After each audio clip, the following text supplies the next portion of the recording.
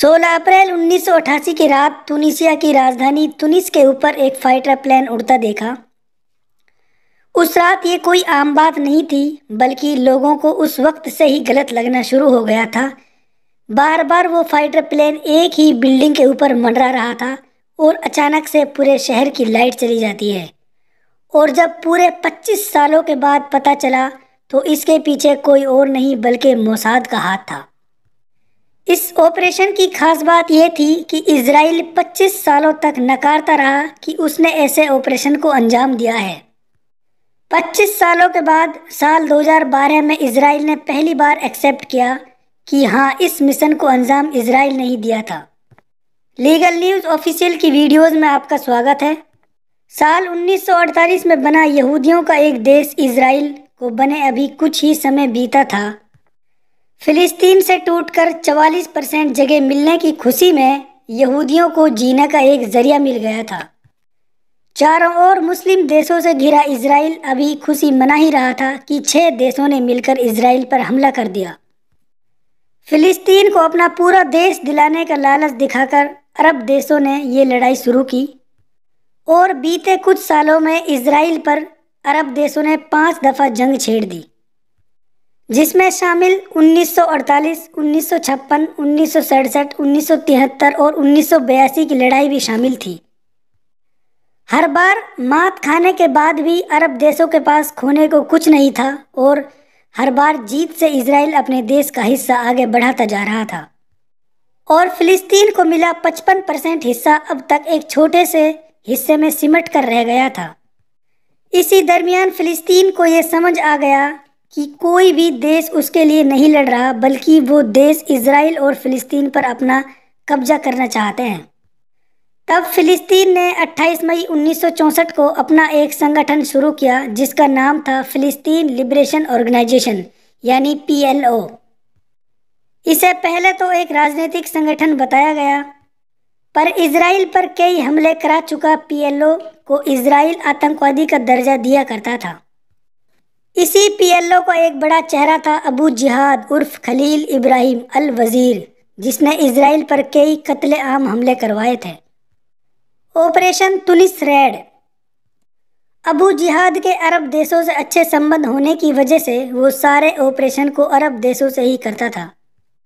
कभी सीरिया से, कभी लीबिया से, कभी इराक से वो अपने संगठन के लिए हर जगह से अंजाम दिया करता था। इसराइल की हेड लिस्ट में शामिल अबू जिहाद को मारना बहुत ज़रूरी हो गया था।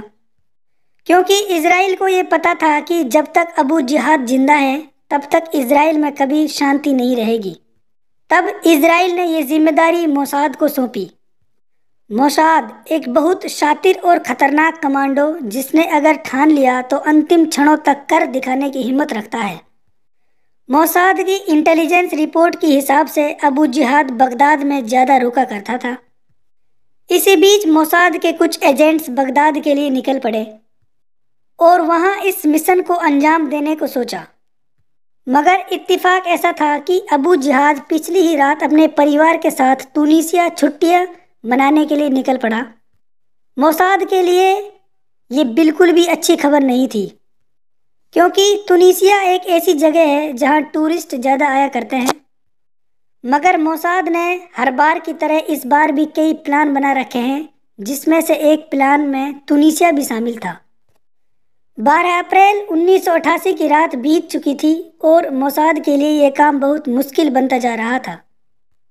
मोसाद के प्लान के हिसाब से अबू जिहाद तुनिसिया में तीन से चार दिन ज़्यादा नहीं रुका करते। अपने परिवार के साथ तुनिसिया पहुँचा अबू जिहाद, सिदी बो सैड, तुनिस में जाकर रुका था, जो उस देश की हाई प्रोफ़ाइल सिटी में से एक माना जाता था। जहाँ वीआईपी लोगों का अक्सर आना जाना लगा रहता है तो सुरक्षा और सिक्योरिटी के हिसाब से ये एरिया काफ़ी सेफ़ था। 16 अप्रैल 1988 को रात करीब 9 बजे अबू जहाद और उसकी पत्नी, बेटा और उसकी बेटी अपने विला पर डिनर कर रहे थे। तभी अबू जिहाद से मिलने उसके विला पर एक गेस्ट आए। अबू जिहाद को उसके सिक्योरिटी गाइड के द्वारा बताया गया, वो फ़ौरन फ़र्स्ट फ्लोर से नीचे की ओर चल पड़े। गेस्ट से बात करने के दौरान करीब 10 बजे अचानक से उस एरिया की लाइट चली जाती है। फ़र्स्ट फ्लोर फ़र्स्ट फ्लोर पर राह देख रही उसकी वाइफ सहम गई और फ़ोन करके जल्दी ऊपर बुलाया गया। ये उस रात की सबसे अजीब बात थी।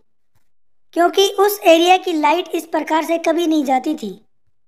रात कर, करीब बारह बजकर चालीस मिनट पर अबू जिहाद के विला के कुछ ही दूर स्थित बीच पर उस रात एक बोट आकर रुकती है और उस बोट से कुछ लोग उतरते हैं, जो तुनिसिया की पुलिस की वर्दी पहनकर आए थे। बोट का बाइक और कार से इसी बीच पर कुछ लोग इंतज़ार कर रहे थे। ये लोग कोई और नहीं, बल्कि मोसाद के ही एजेंट्स थे। और मोसाद की घड़ी की सुई चल पड़ी, क्योंकि उन लोगों के पास इस मिशन को अंजाम देने के लिए केवल 20 मिनट ही थे, और इसी मिशन को अंजाम देके उसी रास्ते से वापस जाना था। बोट से उतरकर सारे मोसाद के एजेंट्स उस विला की ओर बढ़ी रहे थे कि अचानक से एक फाइटर प्लेन उसी दिशा से होकर गुजरता है, और इस फाइटर प्लेन में भी मोसाद के एजेंट शुमार थे जिनका काम था अबू जिहाद का एग्जैक्ट लोकेशन को ट्रेस करके अपने साथियों तक पहुंचाना। पहले दो कमांडो उस विला के नज़दीक अपने हाथों में फूल और एक लेटर लेकर पहुँचे। गाइड के द्वारा रोके जाने पर गाइड को वो लेटर दिया गया। लिफाफा अभी गाइड ने ठीक से खोला भी नहीं था कि एक कमांडो ने साइलेंसर लगी बंदूक चली और गार्ड वहीं पर धाराशायी हो गया। तब तक अबू जिहाद को ये आभास हो गया था कि कुछ अजीब सी चीज़ हो रही है। वो फ़ौरन दौड़कर अपने कमरे में पहुँचे और अपनी बंदूक लेकर बाहर आ ही रहे थे कि उन दोनों कमांडोज ने अबू जहाद के बाँ और पैर पर गोली मार दी। बंदूक हाथ से छिटक कर गिर गई और अबू जिहाद भी ज़मीन पर गिर गया। ये सारा नज़ारा उसकी पत्नी के सामने हो रहा था। पत्नी को भी एक कमांडो द्वारा दीवार की तरफ़ घूमने को कहा गया।